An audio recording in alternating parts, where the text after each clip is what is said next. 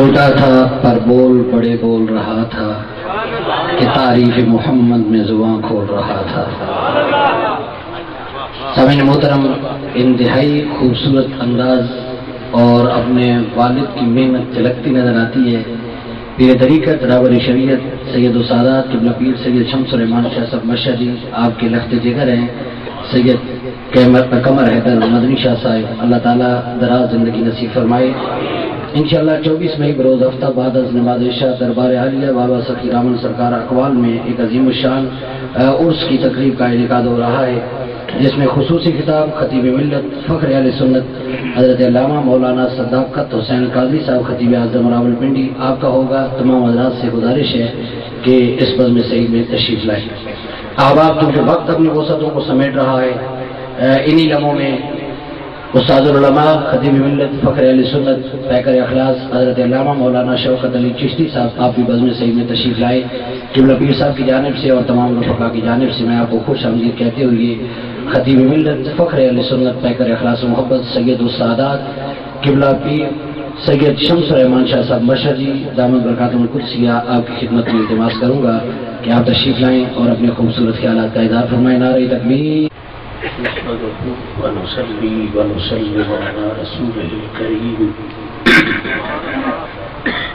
أما بعد فأعوذ بالله من الشيطان الرجيم. بسم الله الرحمن الرحيم. ومن يؤت الحكمة فقد أوتي خيرا كثيرا. صدق الله العلي العظيم وصدق رسوله النبي الكريم. ونحن على ذلك لمن الشاهدين والشاكرين.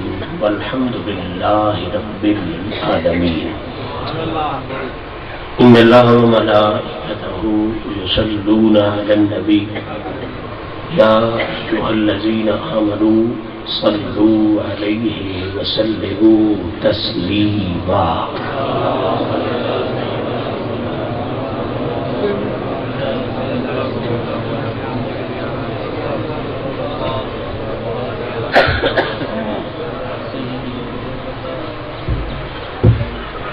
الحمد لله رب جلاله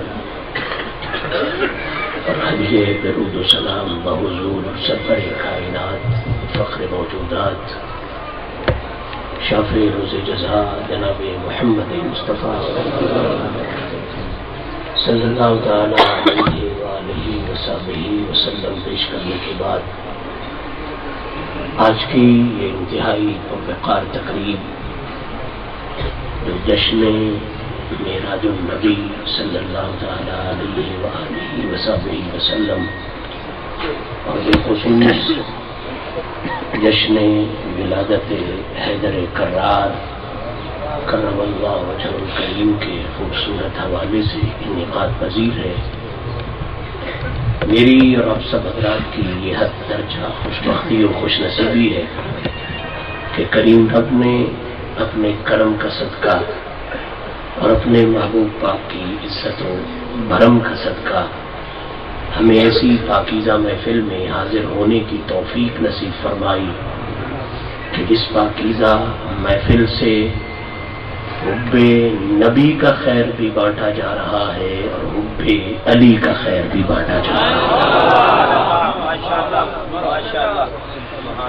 دعا رب العزت، انہی عزت والوں کی عزتوں کا صدقہ ہم سب کی آجزانہ حاضری کو شرف قبولیت عطا فرمائے۔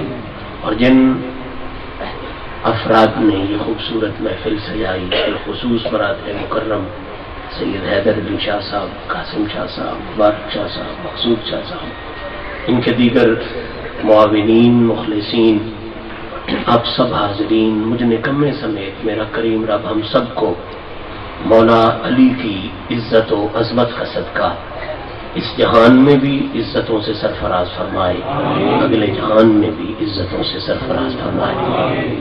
معزز حاضرین لمبی چوڑی گفتگو کا نہ وقت ہے، نہ مناسبت۔ انتہائی مختصر وقت میں حسنین کے بابا کو سلامی پیش کرنے کی جو خوبصورت نوکری آج کی اس نشست میں میرے حصے میں آئی ہے۔ اس خوبصورت نوکری کو نبھاتے ہوئے جس پاکیزہ موضوع کو میں آج شروع کرنے والا ہوں وہ موضوع یہ ہے کہ اللہ کے قرآن اور مدینے والے آقا کی مقدس زبان ان کی روشنی میں علم و حکمت کی شان کیا ہے اور اس شان کے حوالے سے مولا علی شیر خدا کرم اللہ وجہ الکریم کا مقام کیا ہے۔ بغیر کسی تمہید کے میں اپنی گفتگو کا آغاز ان خوبصورت الفاظ کے خوبصورت ترجمے سے کر رہا ہوں، جنہیں میں نے آج بطور سہارا اس نیت کے ساتھ تلاوت کیا کہ آج کی نشست میں نبی کی بارگاہ میں سلامی بھی ہو جائے اور علی پاک سے اظہار غلامی بھی ہو جائے۔ تو خوبصورت لفظ میں نے تلاوت کرنے کی سعادت حاصل کی۔ علماء یقیناً جانتے ہیں افواظ یقیناً جانتے ہیں۔ یہ سورہ بقرہ میں سے ہیں آیت نمبر 269 دو سو انہتر ہے۔ لفظ میں دوبارہ تلاوت کرتا ہوں کیونکہ اسی لمحے میرا پیغام شروع ہو جائے گا۔ بمئی یقتل حکمہ فقد اوتیا خیرن کثیرا۔ بغیر کسی اختلاف کے اس کا بالکل سادہ ترجمہ بھی کریں تو یہ بنتا ہے کہ کریم رب فرما رہا ہے ومئی یقتل حکمہ جسے حکمت عطا ہو جائے۔ جسے حکمت جسے حکمت نصیب ہو جائے۔ یہاں میں آپ کے ذہن کو روک کے ایک بات لکھنا چاہتا ہوں۔ ہمارے معاشرے میں تین قسم کی حکمتیں موجود ہیں۔ ایک یونانی حکمت، ایک ایلوپیتھی والی حکمت جسے ڈاکٹری کہتے ہیں، ایک ہومیوپیتھی والی حکمت، یہ جو جرمنی سے آئی ہے۔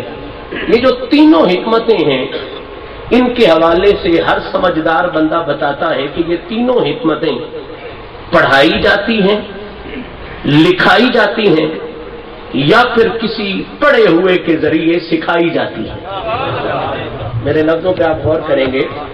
یونانی حکمت ہو تو اس کے ملنے کا بھی طریقہ یہ ہے کہ پڑھائی جاتی ہے، لکھائی جاتی ہے اور پھر کسی حکیم کے پاس جانا پڑتا ہے اور وہاں سے وہ حکمت سکھائی جاتی ہے۔ ڈاکٹری بھی اسی طرح ہے۔ پہلے ایم بی بی ایس پڑھایا جاتا ہے، اہم باتیں لکھوائی جاتی ہیں، پھر ہاؤس جاب میں وہ سکھائی جاتی ہے۔ جتنی بھی حکمتیں ہیں، ان کا اصول یہ ہے کہ پڑھائی جاتی ہیں، لکھائی جاتی ہیں اور سکھائی جاتی ہیں۔ اگر آپ کا ذہن حاضر ہو تو امید ہے میرا یہ جملہ آپ کے دل کو ضرور جھنجھوڑے گا۔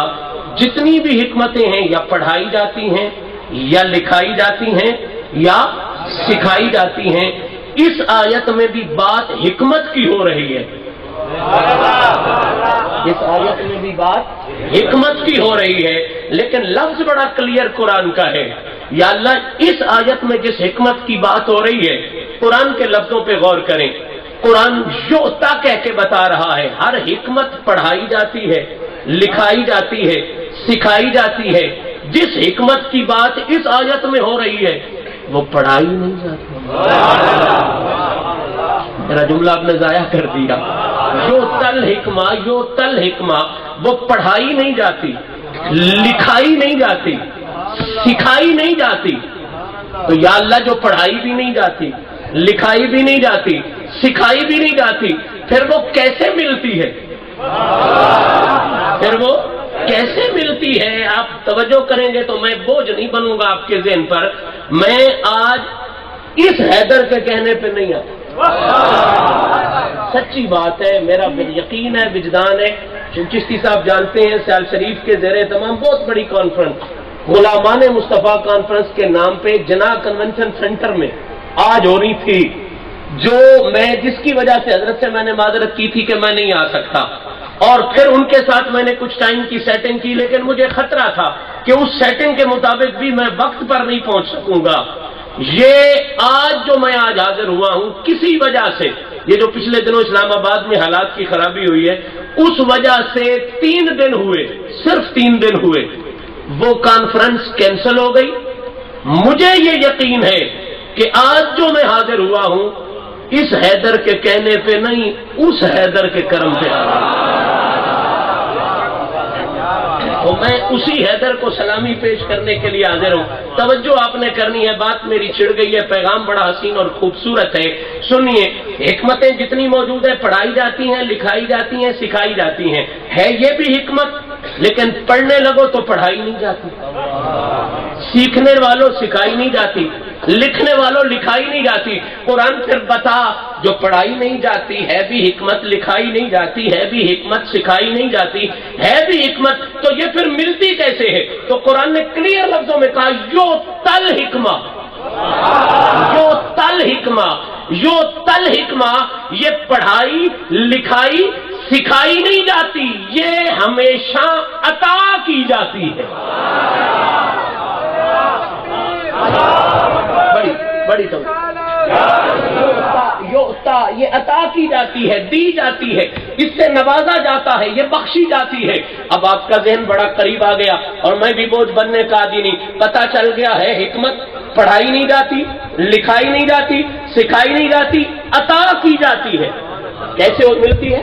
عطا کی جاتی ہے۔ اب اگلا سوال بڑا حسین ہے کہ جب عطا کی جاتی ہے، بخشی جاتی ہے تو پھر پوچھنے والی بات یہ ہے کہ دیتا کون ہے؟ نہیں مزہ لیا آپ نے۔ پتا چل گیا کہ یہ پڑھائی نہیں جاتی لکھائی نہیں جاتی۔ سکھائی نہیں جاتی یہ ملتی ہے عطا ہوتی ہے۔ تو اب سوال یہ بنتا ہے کہ یہ دیتا کون ہے؟ اور اسے بانٹتا دیکھیں نا لنگر حیدر شاہ جی نے پکایا ہوگا۔ آج کی اس محفل کا لنگر دینے والا حیدر شاہ ہے۔ بانٹنے والے کئی اور دوسرے ذمہ دار ہوں گے نا؟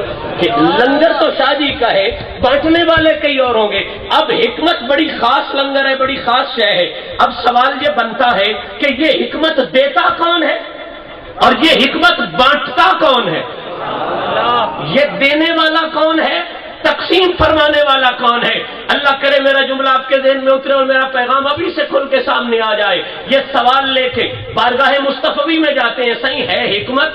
دیتا کون ہے؟ بانٹتا کون ہے؟ نبی نے پورے کرم نوازی کے اعلیٰ ترین میراج پہ کرم فرماتے ہوئے فیصلہ عطا کر دیا۔ صحیح، یہ دیتا کون ہے؟ اور بانٹتا کون ہے؟ فرما، انا دار الحکمہ و علی چن بابوہا۔ یہ حکمت دیتا مصطفیٰ ہے۔ پوری کائنات میں بانٹتا علی المرتضی ہے۔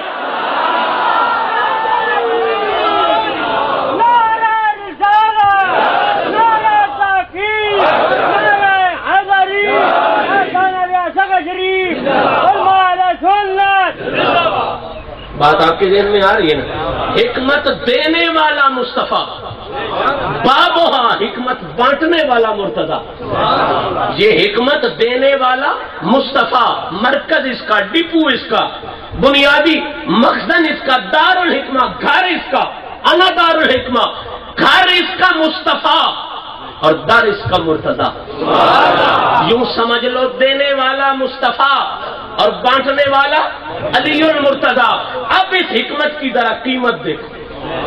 یہ آپ کو پتا چل گیا نا کہ پڑھائی نہیں جاتی، لکھائی نہیں جاتی، سکھائی نہیں جاتی، عطا ہوتی ہے۔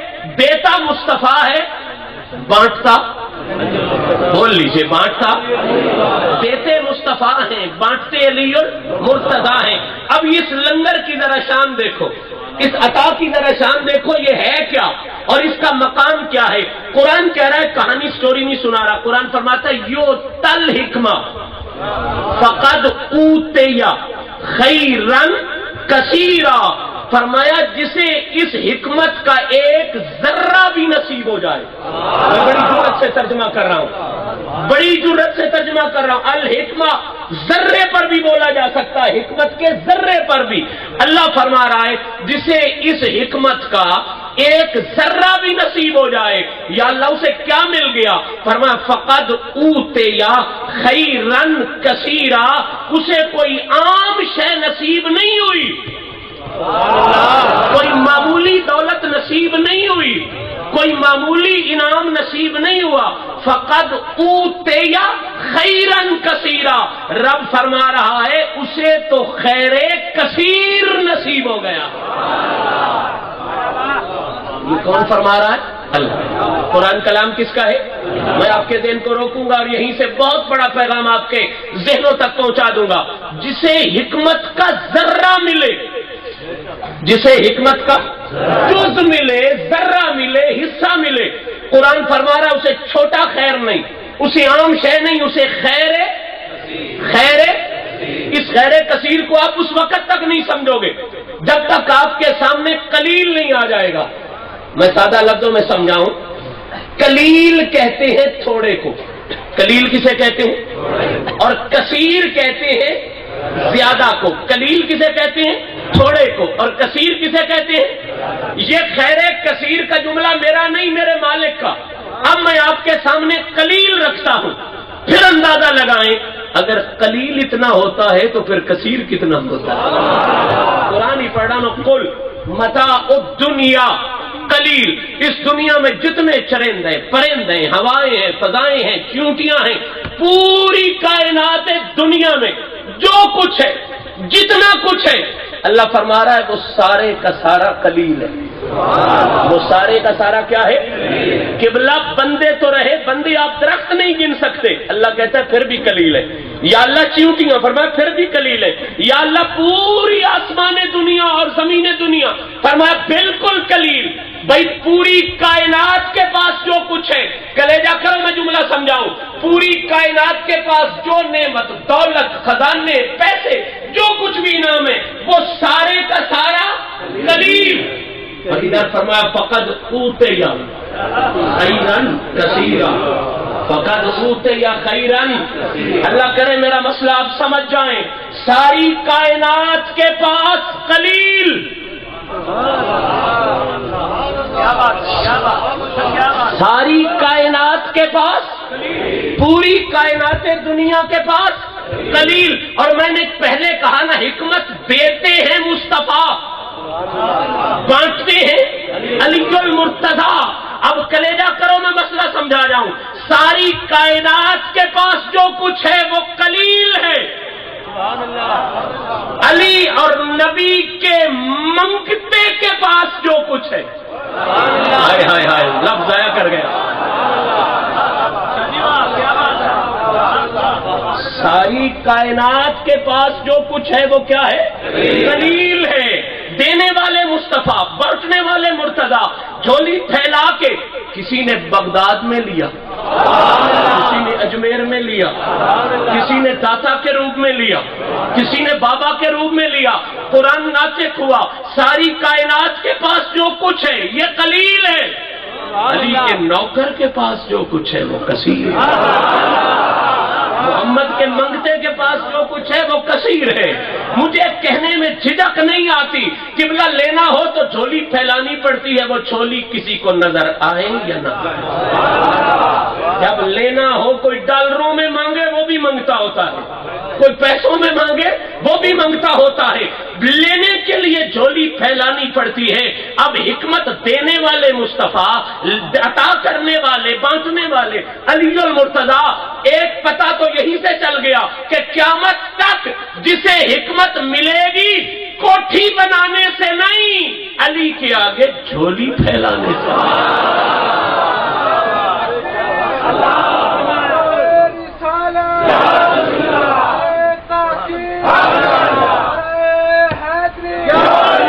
مجھے بہت خوبصورت پیغام دینا ہے آپ کے ذہنوں تک۔ سنیے، ساری کائنات کے پاس جو کچھ ہے وہ کیا ہے؟ کلیل اور علی کے منگتے کے پاس جو کچھ ہے، وہ کیا ہے؟ کثیر۔ اب میں آپ کے ذہن کو روک کے یہ جملہ دینا چاہتا ہوں نا۔ قبلہ سائنس کو شروع ہوئے ہوئے ایتھینٹسٹی سے یہ بات کروں تو پانچ ہزار سال ہو گئے۔ کتنے ہو گئے؟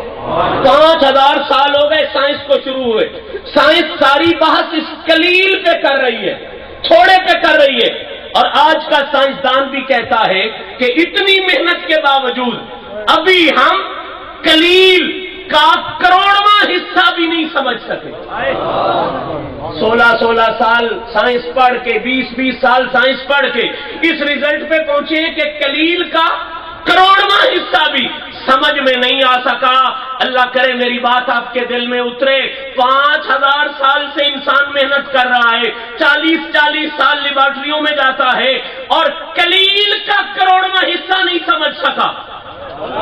اللہ کلیل کا کروڑواں حصہ نہیں سمجھ سکا۔ حد نہیں نا انصافی کی۔ پانچ ہزار سال میں تو کلیل سمجھ میں نہ آئے پانچ ہزار سال میں تو تیری کھوپڑی میں کلیل نہ آ سکے تو دس سال درس میں لگا کے کثیر کو کیسے سمجھ گئے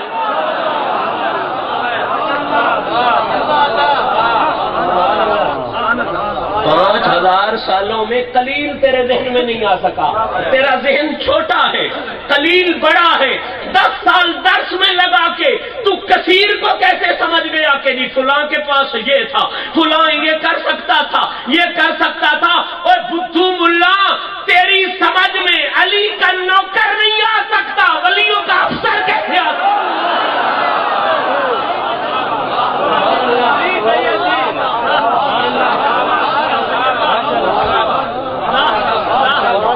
اوقات دیکھ، اپنی حیثیت دیکھ۔ اپنا ہتھیار دیکھ۔ اپنی اوقات دیکھ، اپنی حیثیت دیکھ۔ کائنات کے پاس خلیل ہے۔ علی کے منگتے کے پاس۔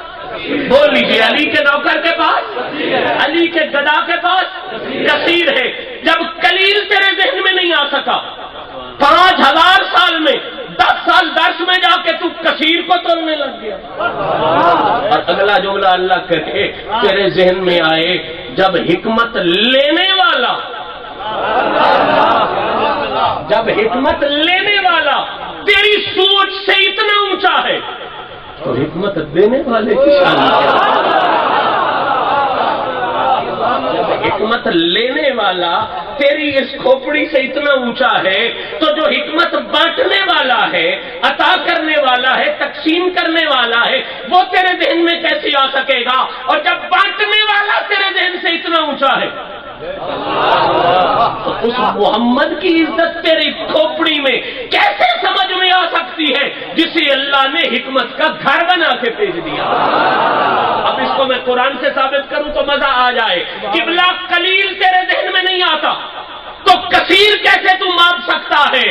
اور غیرت بھرا جملہ ہے سادات کی محفل میں۔ اور مولا علی کی محفل میں میں ضرور کہوں گا، جب فیصلہ قرآن کی طرف سے آ گیا کہ کثیر تیری کھوپڑی میں نہیں آتا، تو حد نہیں بے غیرتی کی۔ جب کثیر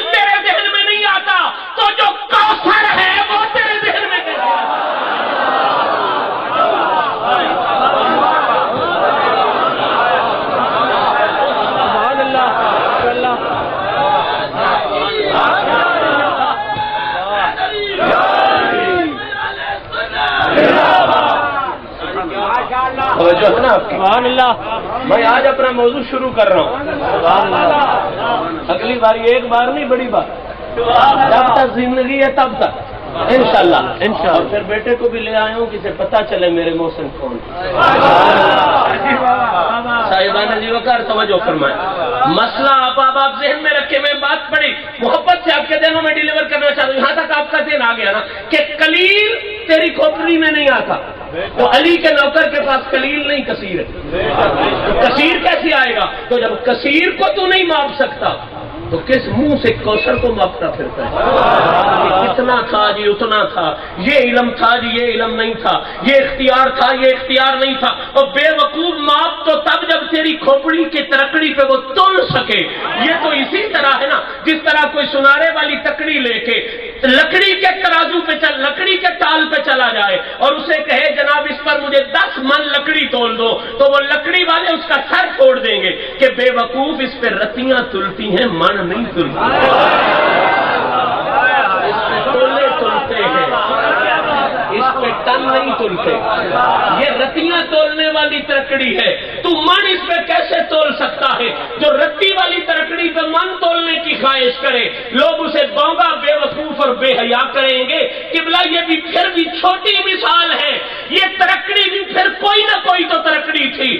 زہرا کے بابے کی عزت کے بارے میں تو کوئی ترکڑی ترکڑی ہی نہیں ہے۔ کوئی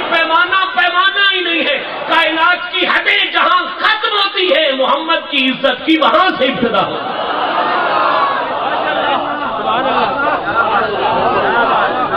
اچھا بات چلی تھی حکمت سے میں موضوع سے نہ ہٹ جاؤں۔ حکمت پہ چلی تھی نا حکمت دینے والا مصطفیٰ، حکمت بانٹنے والا۔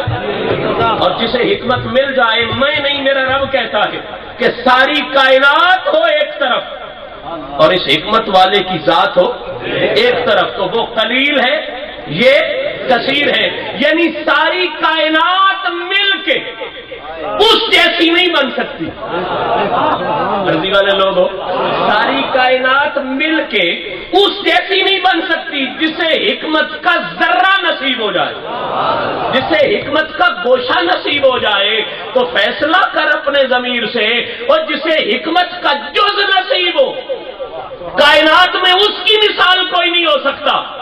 تو جسے حکمت بانٹنے کی ڈیوٹی رب دیا تھا اس کی مثال کیسے ہو سکتی ہے؟ اب یہاں پر چونکہ مولود کعبہ ہے اس لیے میں نے اسی منزل کی طرف جانا ہے اور میرے پاس منٹ بھی تقریباً دس سے بارہ منٹ رہ گئے۔ اور میں نے منزل کی طرف بھی جانا ہے۔ پیغام سنیے صاحبان دی وقت حکمت بڑی قیمتی چیز ہے۔ کائنات گھر سے مہنگی چیز ہے۔ اب سننے والی بات یہ ہے، اور یہ بات پلے باندھنے والی ہے کہ جیسی چیز عطا ہونی ہوتی ہے نا ویسی تیاری بھی ضروری ہوتی ہے۔ سادہ لفظوں میں سمجھاؤں کہ ہر برتن جس میں کھانا ڈالا جاتا ہے، اس برتن کو صاف کیا جاتا ہے۔ لیکن ہماری مائیں، بہنیں، جس برتن میں دودھ ڈالنا ہوتا ہے نا، اسے تین دفعہ زیادہ دھوتی ہیں۔ ہے اسی طرح یا نہیں؟ اما بوڑھی، اما سے پوچھ، اما گلاس دھو دیا، ٹھیک ہے، جگ دھو دیا، ٹھیک ہے۔ لیکن یہ کننا یہ چاٹی جس میں تو نے دودھ ڈالنا ہے، اسے ایک دفعہ نہیں، دو دفعہ نہیں، تین دفعہ نہیں۔ اتنی کثرت سے کیوں دھو رہی ہو؟ تو تیری بوڑھی اما تیری بوڑھی بہن تجھے جواب دے گی کہ بیٹا، جس برتن میں دودھ ڈالنا ہو نا، چونکہ دودھ ہے، ہماری سادہ زبان میں سمجھاؤں نا، وہ کہے گی دودھ ہے اللہ کا نور۔ تو جس میں وہ نور ڈالنا ہے نا، اس کی صفائی زیادہ بہتر طریقے سے کرنی ہے۔ اس کی تیاری زیادہ بہتر طریقے سے کرنی ہے۔ مجھے وہ خوبصورت شعر یاد آ گیا، علماء کی نظر ضرور کروں گا۔ شکو تو الا وکی سو حفظی۔ کہتے ہیں کہ میں نے وکی سے پوچھا کہ جناب، میرا ذہن ٹھیک نہیں رہتا، حافظہ ٹھیک نہیں رہتا، مجھے کوئی نسخہ بتائیں۔ تو اس وقت کے عظیم محدث نے فارشدنی الا ترک المعاصی۔ اس وقت کے عظیم محدث نے کہا، اگر تیرے ذہن میں علم نہیں آتا نا تو تو گناہ کرنے چھوڑ دے۔ کیا کرنے چھوڑ دے؟ گناہ کرنے چھوڑ دے۔ کہتا ہے، میں نے پوچھا جناب، ذہن اور حافظے کا گناہوں سے کیا تعلق؟ آپ مجھے بداموں کا گھوٹا بتاتے، آپ مجھے کوئی اور نسخہ بتاتے جس کے ساتھ ذہن بڑھ جاتا، حافظہ بڑھ جاتا۔ گناہوں کے چھوڑنے سے کیا تعلق؟ تو جواب اگلا ہے، لِأَنَّ الْعِلْمَ نُورٌ مِّن إِلَٰهٍ وَنُورُ اللَّهِ لَا يُعْطَى لِعَاصِي گناہوں سے چھوڑنے سے بڑا تعلق ہے، کیونکہ علم اللہ کا نور ہے اور اللہ کا نور پلیت برتنوں میں نہیں ڈالا جاتا۔ اللہ کا نور گندے برتنوں میں، گناہ والے گندے برتنوں میں نہیں ڈالا جاتا۔ مجھے جو مسئلہ سمجھانا ہے وہ یہ کہ جسے حکمت یعنی اللہ کی بہت بڑی نعمت ہے نا، جو کائنات بھر سے قیمتی ہے، جسے حکمت ملنی ہے، جس میں دودھ ڈالنا ہو اس کی تو تو اتنی تیاری کرے۔ تو جس برتن میں اللہ نے حکمت ڈلوانی جس وجود میں اللہ نے حکمت ڈلوانی ہو، وہ اس کا اہتمام نہیں کرے گا۔ ہاتھ ہے بے عقلی اور بے شوری کی۔ سنو قرآن۔ قرآن بتا رہا ہے، لقد من اللہ المؤمنین۔ اس باس فیہم رسولا من انفسہم۔ یتلو علیہم ما آیاتہی ویزکیہم۔ ویعلمہم الکتاب والحکمہ۔ ویعلمہم الکتاب وال، جاؤ، اٹھاؤ قرآن۔ یزکیہم پہلے آیا۔ مرضی والے لوگ پہلے آیا۔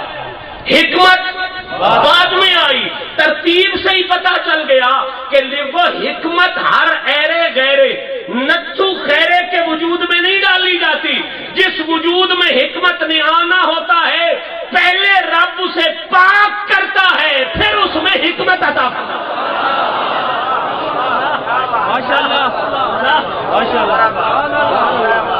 میں علی کے میلاد پہ جا رہا ہوں اور اسی محلے سے جا رہا ہوں، علی کی ولادت پہ جا رہا ہوں اور اسی جملے سے جا رہا ہوں، قبلہ جس میں حکمت آنی ہو یعنی جس میں حکمت والا بننا ہو، وہ تو پہلے پاک ہو، پھر حکمت والا بنے۔